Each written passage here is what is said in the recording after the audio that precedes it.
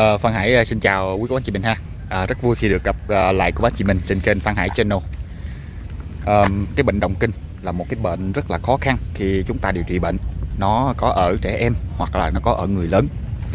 Và vấn đề điều trị của nó thì có thể chúng ta uống thuốc chúng Có thể chúng ta giải phẫu, phẫu thuật. À, Và có thể nó sẽ tiêu biến theo cái tuổi tác.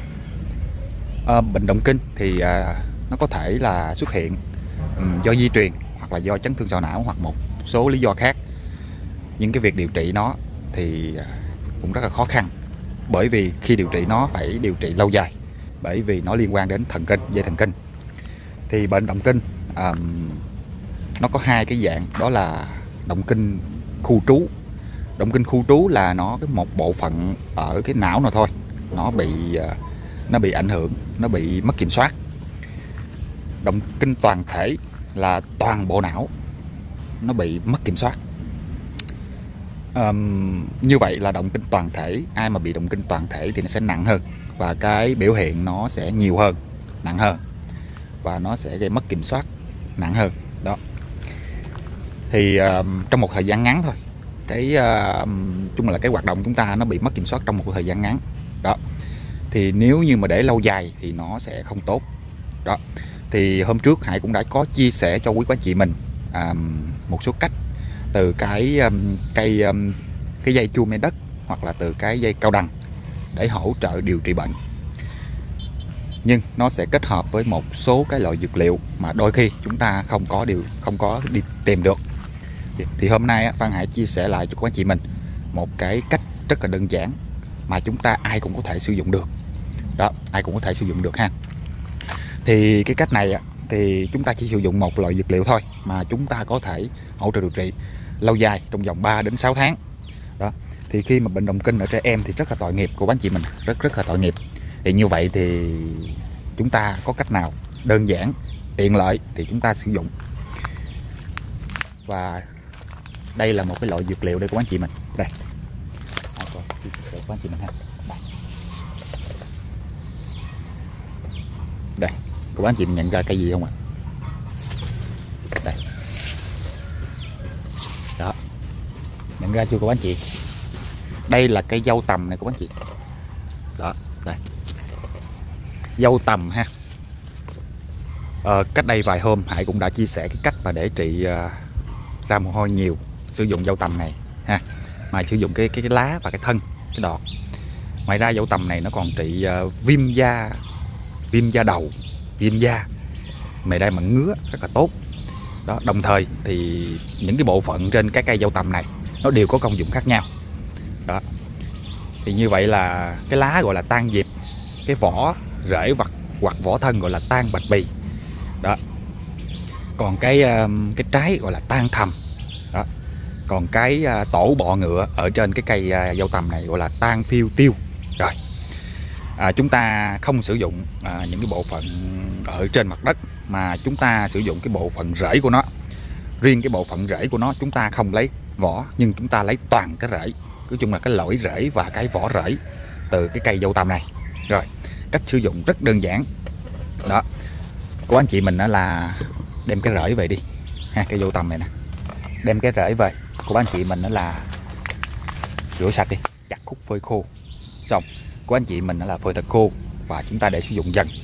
Thì với người lớn thì mỗi lần chúng ta sử dụng 50g và bỏ vào một cái nồi đổ chảy một lít nước nấu sôi lên 10-15 phút. Khi nó sôi á của anh chị mình lửa nhỏ lại bớt lửa nhỏ lại và để cho nó sôi từ 10-15 phút để cho nước nó ra. Và chúng ta sẽ chia nhiều lần uống trong ngày. Nếu trẻ em á dưới 10 tuổi à, trên 8 tuổi thì của anh chị mình lấy cho Hải là 30g à, cũng nấu một lít nước như vậy. Nếu như mà trẻ em á um, dưới 6 tuổi à, trên 5 tuổi thì lấy cho Hải là 20g nếu trẻ em á, dưới 5 tuổi trên 4 tuổi nói chung là từ 4 đến 5 tuổi từ 3 4 5 tuổi 3 4 5 tuổi thì lấy cho Hải 10g nha 10 10 gram rưỡi của cây dâu tầm và nấu nước uống. Rất tuyệt vời không các bạn chị? Đó. Và khi mà chúng ta uống á, lâu dài từ 2 3 4 5 tháng thì cái cơn động kinh nó sẽ uh, nó cắt cơn và nó sẽ thưa dần thưa dần thưa dần thưa dần ra. Và nó nhẹ dần nhẹ dần nhẹ dần, nó giảm dần cái vấn đề động kinh, nặng. Rồi từ từ nó sẽ tiêu biến luôn, nó sẽ biến mất luôn. Đó là cái cách để chúng ta sử dụng cái cây dâu tằm này, để chúng ta hỗ trợ điều trị bệnh động kinh ở người lớn và trẻ em. Và cái căn bệnh động kinh này, khi chúng ta, ai mà bị mắc phải thì khi mà chúng ta bị động kinh trong cái thời gian đó, có nghĩa là thời gian chúng ta không có tự chủ, thì khi mà chúng ta bị động kinh thì chúng ta sẽ không biết chúng ta là ai không biết mình là ai cả bởi vì chúng ta động kinh mà. Đó. Và ai cũng có thể bị động kinh. Thì như vậy thì khi mà chúng ta bị thì chúng ta nên tìm những loại dược liệu này. Mình xin nhắc lại khi mà chúng ta bị động kinh thì chúng ta không biết mình là ai cả. Ngoài ra thì như hải đã nói ở đầu video bệnh động kinh này có rất nhiều cây để điều trị. À, như ví dụ như cây cau đằng. Cái cau đằng thì à, cũng trị rất là tốt. À, nhưng mà um, theo cái theo dõi và cái um, tham khảo của hải á, ở trên những cái tài liệu á, thì cái cái rễ cây dâu tằm này nó sẽ có khi nó sẽ tốt hơn để hỗ trợ điều trị bệnh động kinh. Thì như vậy thì hôm nay hải đã chia sẻ xong của anh chị mình. Đó những cái cách rất là đơn giản từ cái cây uh, dâu tằm này. Ngoài ra những ai mà bị ra mồ hôi nhiều đó nhưng mà không phải là nóng nực mới ra mồ hôi nhiều nha. Nói chung là chúng ta bình thường cũng ra mồ hôi nhiều hơn người khác. Hôm bữa hải có chia sẻ là bài thuốc từ cái lá dâu tằm này nè mà có nhiều của anh chị mình vô hỏi hải là mùa hè nóng nực ra mồ hôi nhiều thì có điều trị được không? Thì mình xin chia sẻ của anh chị mình. À, ở Việt Nam chúng ta có bốn mùa. Riêng ở miền Nam thì có hai mùa mùa mưa và mùa nắng. Đó. Thì khi mà mùa mưa chúng ta không đổ mồ hôi thì mùa nắng chúng ta đổ mồ hôi lại bù. Đổ mồ hôi thì nó có tác dụng là bài trừ bài tiết những cái chất không tốt cho sức khỏe ra ngoài lớp da để chúng ta loại bỏ đi. Thì mùa nắng chúng ta đã đổ mồ hôi thì nó đơn giản rồi còn những cái người nào mà ra mồ hôi nhiều bất thường à, ví dụ như cũng cái thời tiết đó cái nhiệt độ đó cái hoạt động đó mà cái người ở cái bên chúng ta ra mồ hôi bình thường tại sao chúng ta lại ra nhiều hơn họ? Thì đó mới gọi là ra mồ hôi nhiều bất thường. Thì như vậy thì chúng ta mới sử dụng cái dầu tằm này để điều trị.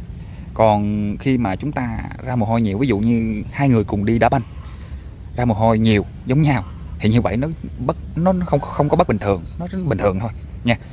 À, thì như vậy thì ai mà ra mồ hôi nhiều hơn những người khác um, thì bất bình thường à, thì chúng ta sử dụng dầu tầm này lấy cái lá cái thân và cái đọt như thế này tươi như thế này à, lấy cho hải từ à, 300g đến 400g thì nói chung là chúng ta dùng à, nó cũng từ 300g 400g 500g cũng được. Đó rồi à, bỏ vào nồi đổ cho hải 4 đến 5 lít nước 3 đến 4 lít nước hoặc là 4 đến 5 lít nước rồi nấu sôi lên sau khi sôi để cho nó sôi khoảng chừng à, 20 đến 30 phút sau.